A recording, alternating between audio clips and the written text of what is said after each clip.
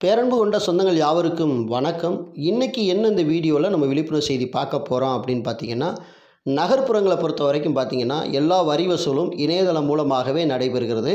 அதாவது பேரூராட்சி நகராட்சி மாநகராட்சி எல்லாமே இந்த வரி வசூல் முறை என்பது இணையவழி ஆயிடுச்சு ஆனால் கிராம ஊராட்சி பொறுத்த வரைக்கும் பார்த்தீங்கன்னா அது எல்லாமே வந்து மேனுவலாக இருந்தது. தற்போது வந்து அதை இணையவழி பரிவர்த்தனையாக நம்முடைய அரசாங்கம் இந்த மாதம் வந்து மாற்றி அதற்கான அரசாணையும் கூட வெளியிட்டு அதை செயல்முறைப்படுத்திட்டாங்க அப்படின்னு தான் சொல்ல முடியும். இது இப்போ புதுசாக வந்ததுனால இதில் சில சட்ட சிக்கல்கள் வந்து எழும்பி இருக்குது.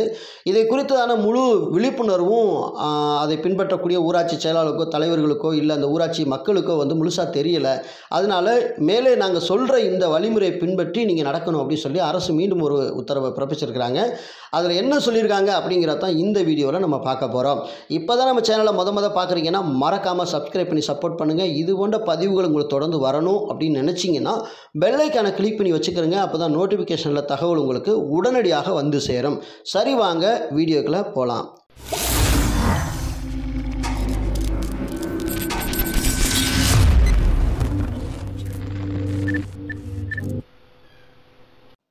தமிழகத்தில் கிராம ஊராட்சிகளில் வரி கட்டண இனங்கள் வசூலிக்கப்பட்டு அதற்கான ரசீது வழங்கப்படுகிறது. இதில் கடந்த காலங்களில் பல்வேறு தவறுகள் நடந்தது கண்டறியப்பட்டது. இதையடுத்து நகர்ப்புற உள்ளாட்சி அமைப்புகளைப் போன்று இணையதளம் மூலம் வரி கட்டண இன வசூல் நடத்த முடிவு செய்யப்பட்டிருக்கிறது. அதன்படி கடந்த சில வாரங்களாக இணையதள வரி கட்டண இன வசூல் நடந்து வருகிறது. இந்த நிலையில் இதற்கான வழிகாட்டுதல்களை தமிழ்நாடு அரசு வெளியிட்டு கண்டிப்புடன் பின்பற்ற உத்தரவிட்டிருக்கிறது. அதன்படி கட்டிட வரைபட மற்றும் மனைப்பிரிவு அங்கீகாரம் வழங்குவதில் மறு உத்தரவு வரும் வரை தற்போதைய நடைமுறையை பின்பற்ற வேண்டும் அப்படின்னு சொல்லி சொல்லியிருக்காங்க. சொத்து வரி குடிநீர் வரி கட்டணம் தொழில் வரி வர்த்தக உரிமை மற்றும் இதர வரியில்லா வரி இனங்கள் குறித்து வழங்கப்படும் ரசீது இணையதளம் மூலமாகவே தரப்பட வேண்டும். இணைய வழியில் வரி செலுத்துவது துவக்க நிலையில் இருக்கிறதால் இதில் ஏற்படும் சிரமங்களை முறையாக கையாள வேண்டும். வரியை செலுத்தியதும் உடனடியாக ரசீது தர வேண்டும். அனைத்து ஊராட்சிகளும் இந்த நடைமுறையை செயல்படுத்த வேண்டும். யூபிஐ செயல்படுத்த கிராம ஊராட்சிகள் ஜிஎஸ்டிஎன் டிஏஎன் ஊராட்சி தலைவரின் பான் எண் ஆகியவற்றை ஊராட்சிகள் உதவி இயக்குனர் அலுவலகத்தில் சமர்ப்பிக்க வேண்டும். இதுவரை பல ஊராட்சிகளில் கேட்கப்பட்ட பிழைகளை சரி செய்யும் வசதி நடைமுறைப்படுத்தப்பட்டிருக்கிறது. அதன்படி வீட்டு கதவு எண் உரிமையாளர் பெயர் கேட்பு எண் ரெண்டாயிரத்தி இருபத்தி ரெண்டு இருபத்தி மூணில் செலுத்தப்பட்ட கேட்பு பெறப்பட்டது என குறிப்பிடும் வசதி ஏற்படுத்தப்பட்டிருக்கிறது.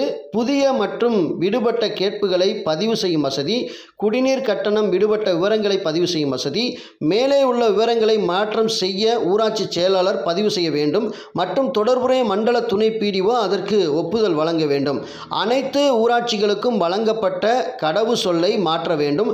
மேலும் கடந்த நிதியாண்டுகளில் பெற வேண்டிய நிலுவைகளை ஆண்டு வாரியாக பதிவு செய்ய வேண்டும். இணையதளம் பின்பற்றும் பிஓஎஸ் மூலம் பெறப்படும் பணம் உரிய ஒற்றை மைய கணக்கில் செலுத்தப்பட வேண்டும். ஊராட்சி வாரியாக வங்கி கணக்குகள் ஊராட்சி ஒன்றிய அலுவலக மின்னஞ்சல் முகவரிக்கு அனுப்பப்பட உள்ளது. கிராம ஊராட்சி பிடிஓ மற்றும் மண்டல துணை பிடிஓக்கள் ஊராட்சி செயலாளர்களுக்கு இதனை தெரிவித்து பணம் செலுத்தப்படுவதை உறுதி செய்ய வேண்டும். பெறப்பட்ட பணத்தை அருகில் உள்ள இந்தியன் வங்கி கிளையில் செலுத்த வேண்டும். மேலும் இணையதள வழியில் வரி வசூல் செய்தாலும் ஊராட்சிகளில் கண்டிப்பாக பராமரிக்கப்பட வேண்டிய வரி விதிப்பு பதிவேடுகளை பதிவு செய்து முறையாக பராமரிக்க வேண்டும். இந்த பதிவேடுகளுக்கு ஊராட்சி தலைவரிடம் ஒப்புதலும் பெற வேண்டும். இணையதள வரி வசூல் குறித்து ஐந்து வீடியோக்கள் இதுவரைக்கும் வெளியிடப்பட்டிருக்கிறது. இதனை அனைத்து ஊராட்சி மன்ற தலைவர் துணைத் தலைவர் வார்டு உறுப்பினர்களை கொண்டு சேர்ப்பதுடன் வரி வசூல் இணையதளத்தில் சந்தேகங்கள் இருந்தால் பிடிஓ ஊராட்சி உதவி இயக்குனர் அலுவலகங்கள் மாநில அளவில் உருவாக்கப்பட்டுள்ள அழைப்பு மையத்தை தொடர்பு கொள்ளலாம். மேலும் இது பற்றி விழிப்புணர்வு கிராம மக்களிடம் ஏற்படுத்த வேண்டும் என்று கூறப்பட்டிருக்கிறது. ஸோ இந்த செய்தி சூப்பரான செய்தி. என்னதான் இணையவழி பரிவர்த்தனை வந்தாலும் அதற்காக ஏற்கனவே பராமரிக்கப்பட்ட அந்த வரி வசூலிப்பு கேட்பு பதிவேடுகளை நிச்சயம் கிராம ஊராட்சி பராமரிக்க வேண்டும். அதற்கான ஒப்புதலை கிராம ஊராட்சி தலைவரிடம் பெற வேண்டும்ங்கிறது கட்டாயமாக இதில் சொல்லியிருக்காங்க. ரெண்டாவது என்னென்னா இது குறித்த சந்தேகங்கள் உங்களுக்கு ஏதாவது இருந்துச்சு அப்படின்னா ஐந்து விதமான வீடியோக்களை வந்து நம்முடைய தமிழக அரசாங்கம் வெளியிட்டிருக்கிறாங்க அப்படின்னு சொல்லியிருக்காங்க. ஒருவேளை அந்த வீடியோக்கள் நம்மளுக்கு கிடைக்கும் பட்சத்தில் நிச்சயமாக நம்முடைய சேனலில் பதிவேற்றம் செய்வோம்.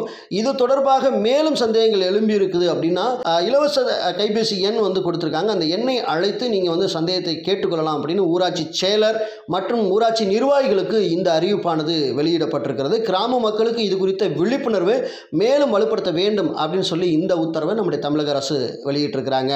ஸோ இந்த வீடியோ உங்கள் எல்லாருக்கும் யூஸ்ஃபுல்லாக இருந்திருக்கும் அப்படின்னு நான் நினைக்கிறேன். மற்ற உறவுகளுக்கும் போச்சுன்னு நினச்சி நான் மறக்காம பயிருங்க.